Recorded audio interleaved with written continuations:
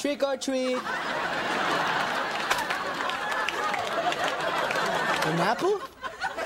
It's my candy, you son of a bitch?